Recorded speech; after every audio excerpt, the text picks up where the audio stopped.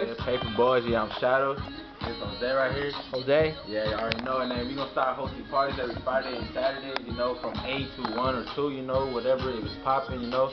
Um, we're gonna be hosting it right here in 4154 West Pico Boulevard. So, you know, just come over here, it's gonna be popping, you know.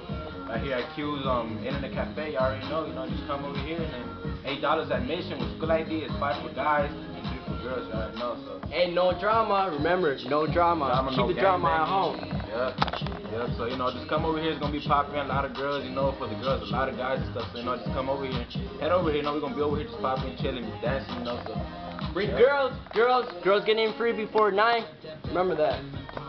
yep. So all right then. I know it's Paperboyz.